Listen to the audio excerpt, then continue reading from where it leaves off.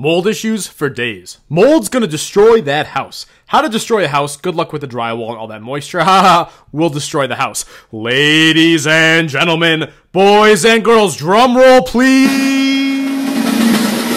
I introduce to you the dehumidifier. Takes the place of high humidity and brings it to lower humidity. Combined together, these two can remove up to 250 pints of water a day from the air. That's 30 gallons a day. Will that be enough? I'm pretty sure, but we'll have to see.